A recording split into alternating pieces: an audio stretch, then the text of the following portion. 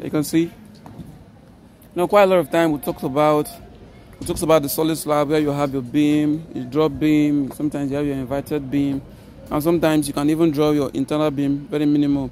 That we have 150. You can see. But in this situation here, we're talking about the flat slab.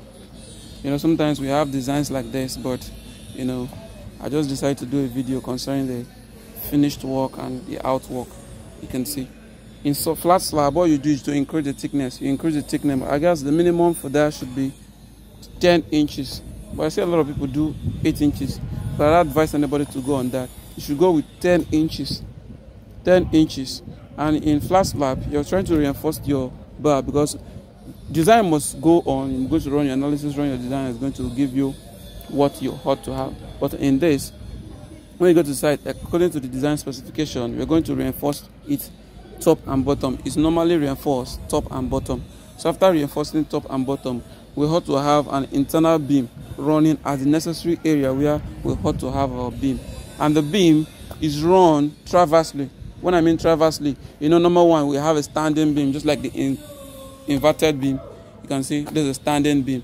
But if you don't stand it vertically like this, we try to make it horizontally. You can see this is the horizontal version of it. You know, taking the same chain with a well, uh, well analyzed reinforcement and your stirrups. Pay attention to your stirrups because you know the function of your stirrups, like we all know as an engineer, that it helps to to resist shearing in a beam. So we ought to add them where necessary according to the design. Design specification. Don't just do it out of your design content. Don't just do it out of what you know.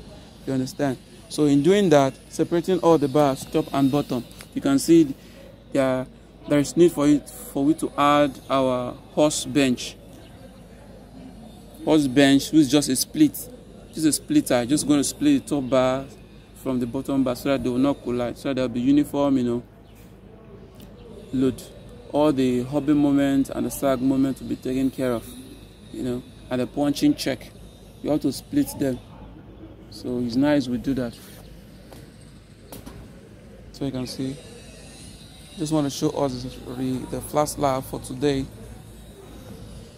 You see? So after this we'll go on the design to show you the design how it's hot to be on the design.